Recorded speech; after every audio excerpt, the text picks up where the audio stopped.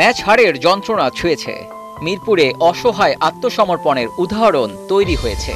লঙ্কান লজ্জায় সবারই তো মুখ লুকানোর অবস্থা। তবে সেখানে ব্যতিক্রম লিটন কুমার দাস। ঢাকা টেস্টে ওই লিটনই যে ছিলেন যোদ্ধা। প্রথম ইনিংসে মুশফিকের সাথে জুটি গড়ে খেলেছিলেন একশো একচল্লিশ রানের মহাকাব্যিক ইনিংস। ধ্বংসস্তূপে পড়া দলটিকে টেনে তুলেছিলেন। পরেরটিতেও বিপদেই পাওয়া গেল লিটনকে। ক্যারিয়ারের তেরোতম ফিফটি পেয়েছেন, সেই সাথে সাদা পোশাকে দুই হাজার রানের মাইল ফলক ছুঁয়েছেন এলকেডি।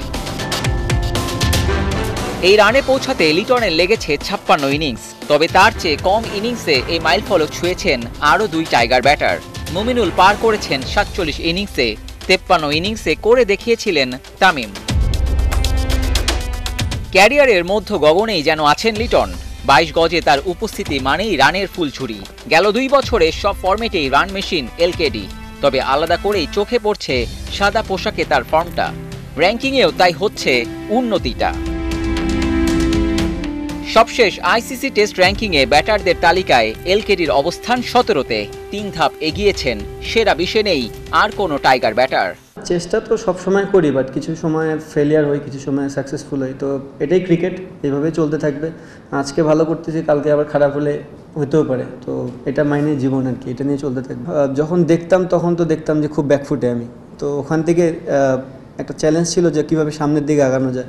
বাট এখন আর দেখি না, কারণ এখন কন্টিনিউ সামনের দিকে আগানোরই চিন্তাধারা। এখন জানি না কতদূর যাতে, যেতে পারব আর কি। এখন বুঝি যে টেস্ট ক্রিকেটের প্যাটার্নটা কেমন, আর কতক্ষণ ধরে ব্যাটিং করলে আমার রানগুলো বড় হবে। টেস্ট র্যাঙ্কিংয়ে লিটন সেরা অবস্থানে ছিলেন, গেল জানুয়ারিতে। নিউজিল্যান্ডে এক সেঞ্চুরি আর এক ফিফটিতে করেছিলেন একশো ছিয়ানব্বই রান তাতেই ছিলেন পনেরো নম্বরে। চট্টগ্রাম টেস্টে আটাশি রানের ইনিংস খেলেছিলেন। সেটারই প্রতিফলন এই র্যাঙ্কিংয়ে। ঢাকা টেস্টে দুই ইনিংস মিলে তার একশো তিরানব্বই রান এখনও র্যাঙ্কিংয়ের হিসেবে আসেনি। অনুমিতভাবেই লিটনের র্যাঙ্কিংটাও উঠবে আরও উপরে। সেরা দশে ঢুকে পড়ার সুযোগটাও থাকছে। আবিদুর রহমান, একাত্তর।